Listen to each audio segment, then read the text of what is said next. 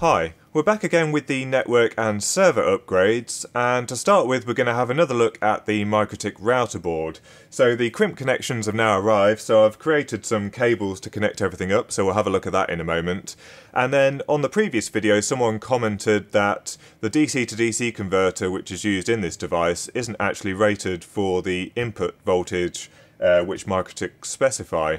So when I was uh, creating the video, I had a quick look on the internet for the part number, and it just so happened that I clicked on a one-page datasheet from Lite-On which said that it was suitable for up to 27 volts, and I didn't really think too much of it at the time. It turns out that that was only a one-page datasheet and possibly a preliminary datasheet.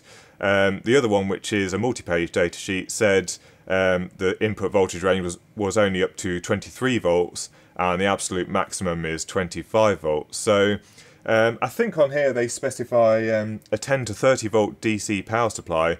So at 30 volts that's definitely running way out of spec and even at 24 volts that's pushing the limit. So um, we'll have a look on this power supply. There is a potentiometer. I'm not sure if that is the output voltage potentiometer but we'll see if we can adjust it down to 23 volts and then we'll just connect it all up and just check that it works um, as expected. Right, so where we left off last time was the power supply was attached to the case, but I was unable to connect up any of the supplies because I didn't have the correct crimp terminals. So I've now created some cables and crimped them up so that uh, everything can be plugged together. Uh, we've got a potentiometer here, which I'm hoping is the output voltage adjustment. And then here we have the DC to DC converters in question. So these are made by Lite-On, and they're the LSP5526 and the main datasheet for this device, uh, revision 1.3 from 2014, does say that the input voltage range is between 4.5 and 23 volts, so definitely nowhere near the 30 volts specified. And I've been having a look at the circuitry here, and there is a MOSFET here, but it doesn't do any kind of pre-regulation so this is purely just to turn off the uh, supply to these DC to DC converters if they go over 30 volts. But I don't know where they've got that 30 volt limit from. There's only one series diode which takes the voltage um, down by about 0.6 volts. So if you supply this with 24 volts, you're still getting um, about 23.4 volts on the supply pins to these DC to DC converters.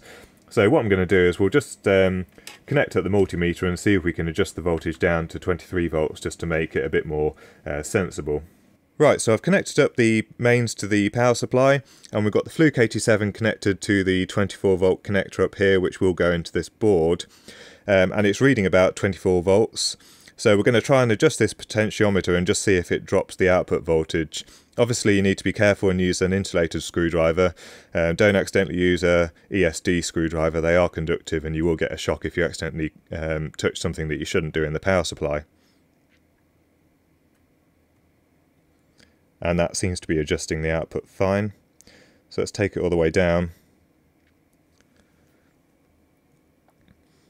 And that's sitting at about 20 volts. So um, the board works down to 10 volts, so we may as well leave it with plenty of headroom um, and leave it at this uh, 20 volt setting. What we'll do now is um, we'll connect up the power connector and just make sure that the unit works fine, and then I'll update you on what else I've been working on. So we've got the power light come on. Yeah, and it seems to be booting properly. So let's just check the supply on the PCB and we'll check it after the series diode.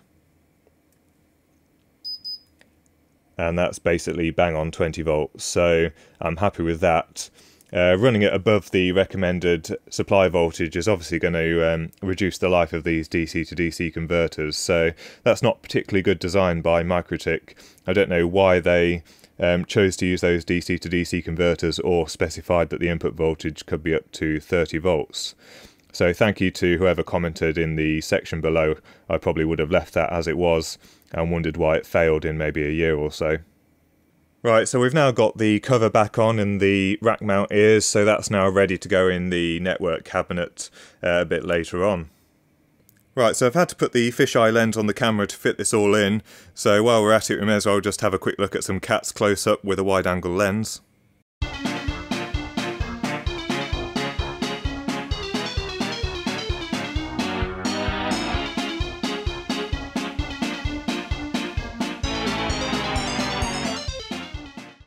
Right, so this is the server which I'm building to replace the Dell PowerEdge.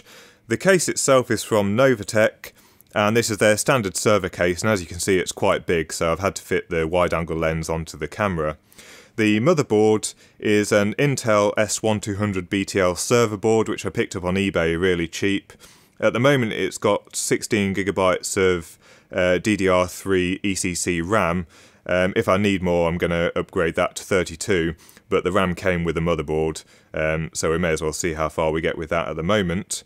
The processor in here is a Xeon E3-1275, so a reasonably powerful unit. It's about the same, possibly a little bit more powerful than the Dell PowerEdge, but it should be consuming about a third of the power, which is the main objective of upgrading the server.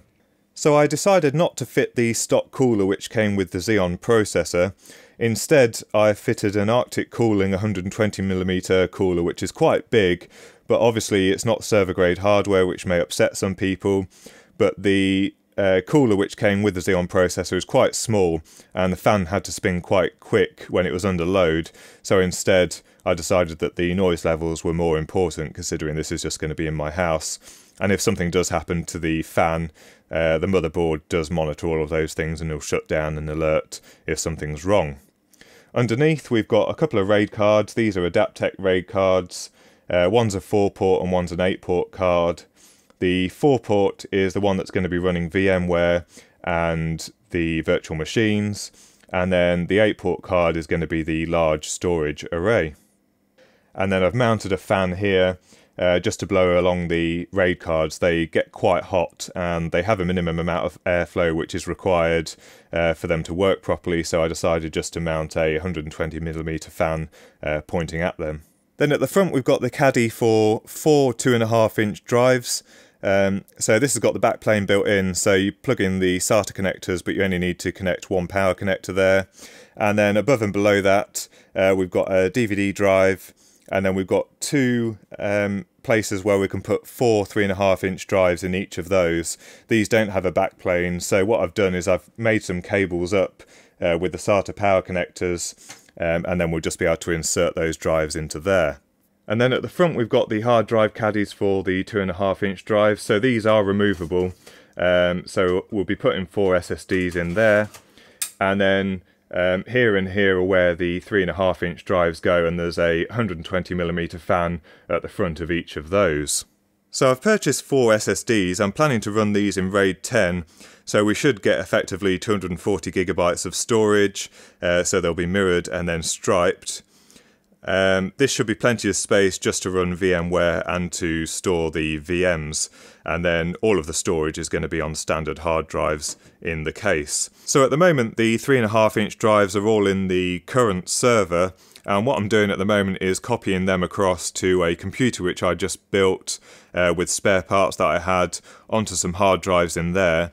I loaded FreeNAS onto that computer just to see what it's like to run with. It actually turned out to be quite a big pain in the ass. I would have been better off just loading Linux or Windows onto that machine and copying files across the network onto there just to store the files in the meantime uh, while I install them onto the new computer.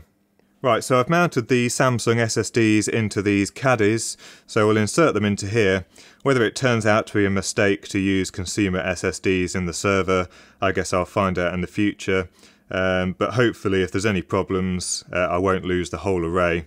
And all of the important stuff's going to be stored on the um, three and a half inch drives, which are in a RAID 10 array. So um, even if these all go wrong, I shouldn't lose any data.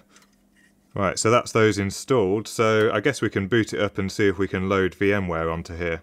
So one thing I almost forgot was to fit the battery to the RAID card. So these RAID cards have some built-in SRAM, um, which caches the um, the data before it's written to the disk. So it tries to reorder the writes to the disk so that it's more efficient and therefore faster. But if you don't fit the battery, then if you um, have a problem like the power gets turned off or you reset the device, those changes don't get written to the disk. And because it's all in SRAM, it gets lost um, and it can corrupt your drive. So you're supposed to fit the battery modules to the RAID card so that on the next time that it's powered up, all of those changes can be written to the disk. Adaptec want £100 for one of these modules, so I decided to take a punt and buy one from eBay. Uh, these were £10 each, uh, but they are used, so I don't know whether the lithium uh, rechargeable battery is damaged or uh, reaching its end of life. So I'm going to fit them and monitor its performance, and then if it turns out that the battery needs replacing, I'm going to see if we can reverse engineer um, the battery module because there are four terminals. Um, I'm assuming one's positive, one's negative. Uh, there is a little bit of circuitry in here, so um, whether I have to take this apart and replace just the cells or whether uh, it turns out that these are all ground and that's just battery protection circuitry, I don't know at the moment, but if there's a problem then we'll have a look at these in closer detail. And there we go, that's the battery module fitted to the RAID card. Right, so I've assembled everything back together again. Um, the cover's off on the server because you do have to plug the keyboard onto the USB port that's on the motherboard um, to load the operating system. Um, so let's try turning it on and see if it boots.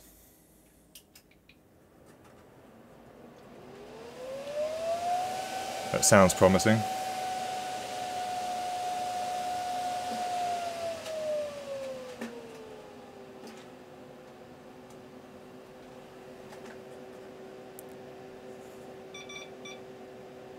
Yeah, and we've got something on the monitor here. So we will have to configure the RAID before we can install ESXi.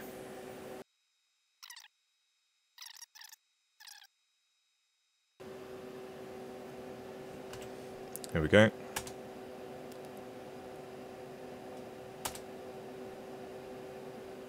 So we have to initialize the drives before we can create a RAID array.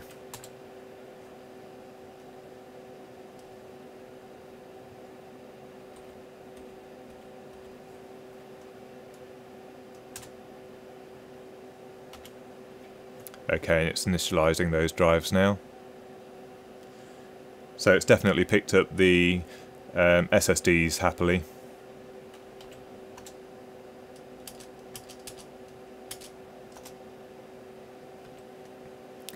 Um, we want to create a RAID 10 array.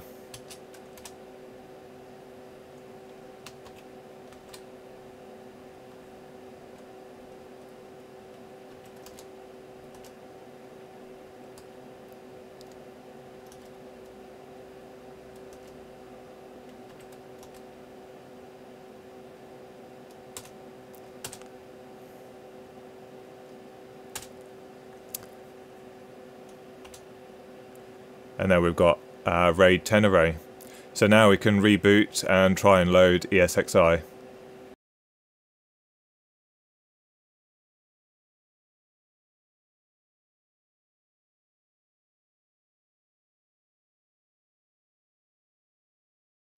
So I'm going to leave VMware to continue installing um, we've got FreeNAS in the background which is still copying files across so that's still going to take a couple more hours to do. Um, in the meantime what I'm going to do is load some virtual machines onto the new server, see if I can get everything running properly and then once it's all up and running I'll post another update video uh, just to show progress. So if you enjoyed this video don't forget to give a thumbs up, leave any comments down below or any questions, uh, subscribe if you haven't already and thanks for watching.